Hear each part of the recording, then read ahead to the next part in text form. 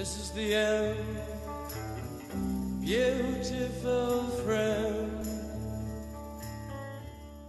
Welcome to another great film throwback day, everybody. And this was a movie that I have heard about for so many years. A lot of people were saying it was amazing, it was something you had to see. And of course, based on the topics in the film, the actors that are in this movie, as well as the great Francis Ford Coppola being director of this film, it was time for me to see the Vietnam War epic film Apocalypse Now, starring Marlon Brando, Martin Sheen, Harrison Ford, Laurence Fishburne, Robert Duvall, and Dennis Hopper. I was very excited to see this movie because I may not be the biggest war fan, but I am so entranced by the Vietnam War. It was something that I did touch on in school, but for some strange reason, we never really got into the nitty gritty details of it just because of the fact that it always happens that the spring comes around, that's when everybody's got the spring fever, ready to end school in the summer, and the curriculum just went way too long and we never really got into the whole story. So to actually see a movie where you actually see the soldiers on the battlefield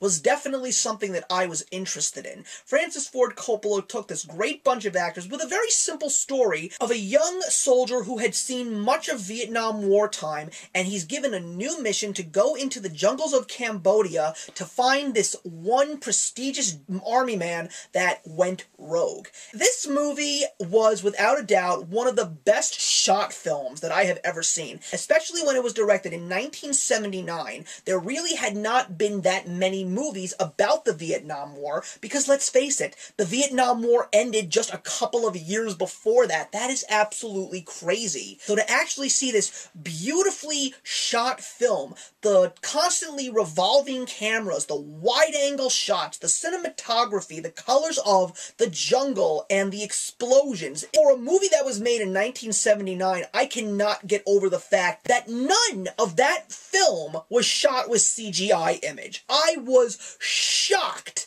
by how well that film was shot. The actors in that film, also, everyone played their parts beautifully. I have never seen a movie where Martin Sheen actually looked that young. He looked just like his son, Emilio Estevez. Marlon Brando, even though I'm not the biggest fan of his, he's definitely got a great role in this movie. Harrison Ford, even though he doesn't have a major role, I found it really funny that his name was Colonel Lucas because he had just done Star Wars two years before.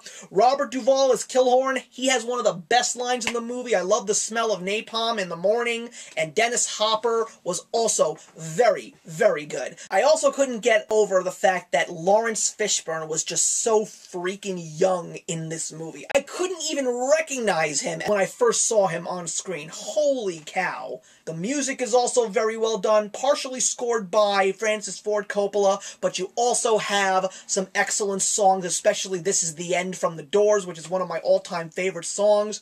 However, as great as all of that acting is, as great as the camera work is, as great as a topic and everything else in between, I didn't like this movie at all. It was so simple to follow, I understood that, but I didn't understand what this major artistic tone that Francis Ford Coppola was trying to do in this movie. In between the major action sequences, which were so well done, by the way, and all of the crazy, out of control intensity that these soldiers were having to go through, which basically took innocent boys and pretty much turned them into mindless, insane, cold blooded killers due to the war, due to the heat, due to the humidity, due to all the disease. It just made these guys go crazy.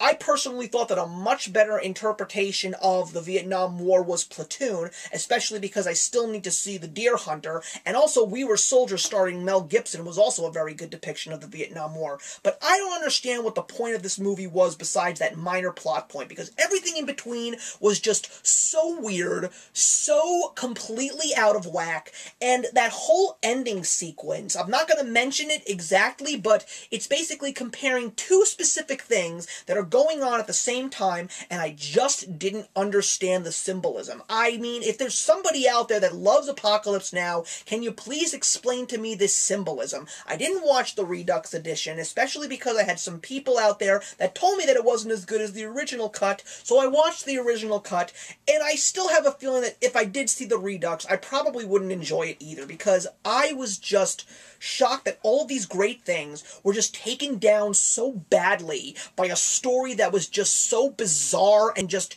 out there, and I like out there. I really do. But this movie, not in the slightest. It's a classic film. I'm not going to say that it's something you should just stay away from.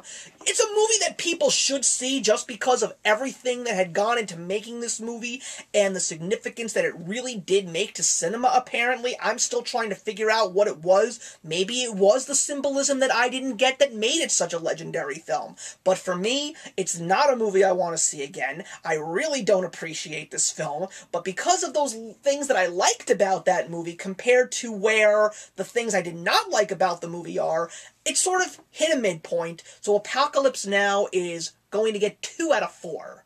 So thank you very much for watching the Great Film Throwback Day, and I'll see you in the next one, guys. Actions speak louder than words.